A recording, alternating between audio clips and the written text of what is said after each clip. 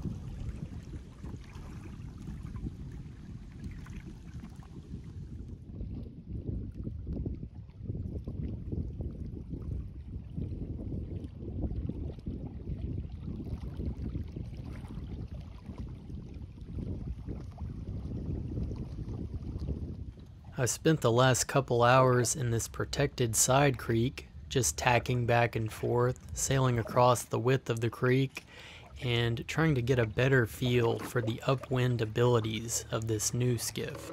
It's time to start making my way back to the truck, so I turn downwind for the broader section of the creek. Sometimes the trip home is actually the most enjoyable sailing of the day.